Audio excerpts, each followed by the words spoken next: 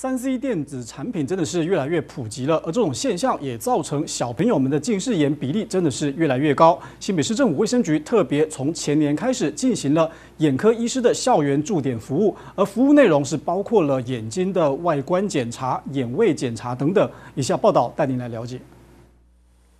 卫生局表示，去年针对辖内学龄前五六岁儿童视力筛检。共筛检了五万六千多名中，仅确诊有五千四百四十一名异常，将近一成，并且显示孩童学习年级越高，视力问题更严重的迹象。很多父母就会用呃三 C 产品作为电子保姆。那其实呢，这边要特别提醒我们的父母，在任何使用三 C 产品之前，一定要特别掌握我们的使用的频率、时间。那新北市卫生局针对去年度呃针对国呃幼托园所五六年五岁跟六岁的小朋友做的视力的调查的部检查部分，发现有一成的小朋友是有视力不良的情形。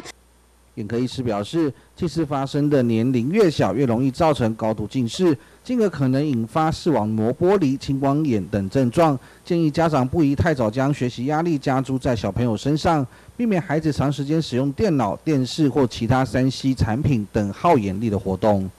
好，如果说父母亲都有近视，甚至是父母亲都高度近视的话，小孩子其实也很容易有近视或者高度近视。那第二个跟他的用眼习惯非常有关系。如果长时间的使用近距离的这样子使用的话，也容易造成近视。好，那第三个就是环境因素啊，比如说灯光都太昏暗，这些也会造成近视。所以，我们近视的防治大概是会从用眼习惯跟环境的改良这边来着手。特别呼吁我们的家长要特别注意小朋友的视力问题，每半年要定期去做一下视力的检查，然后平时的话要均衡的饮食，还有控制一下小朋友在看书、使用三 C 产品的时间，以及我们室内的照明时呃亮度。